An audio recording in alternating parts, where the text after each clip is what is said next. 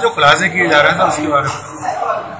आज दो माफियाओं के विरुद्ध हाथरस पुलिस द्वारा कार्रवाई की गई है। इसमें एक माफिया जो चतुरा और चतुर्भुज गुप्ता, इसके खिलाफ एक मुकदमा पहले से एक वादी द्वारा किया गया था, जिसमें उसने चौथ वसूली का आरोप इसके ऊपर लगाया था। इसके अलावा इसके पास से लगभग दो किलो, एक किलो नौ सौ ग्राम नशीला पदार्थ इससे प्राप्त हुआ। इसके अलावा इसके ही घर पे अन्य तीन लोग सट्टा करते हुए मिल गए।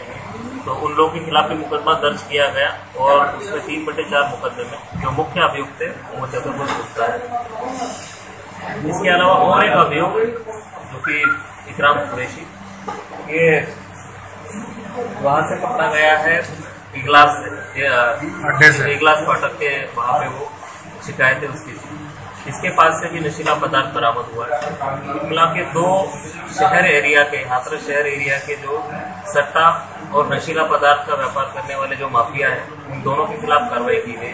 विशेष बात यह है कि यही चतुरा जो है, इसके खिलाफ पूर्व में भी हाथरस पुलिस ने बहुत अच्छी कार्रवाई की है, जिसमें कि इसकी 35 करोड़ की संपत्ति को की गई थी, गैंगस्टर की कार्रवाई भी हुई थी। इन सभी तीनों मुकदमे में चतुरा के खिलाफ और विक्राम के खिलाफ एक मुकदमे में, इसके अलावा और तीन लोगों के खिलाफ में सट्टे के मुकदमे में कार्रवाई की।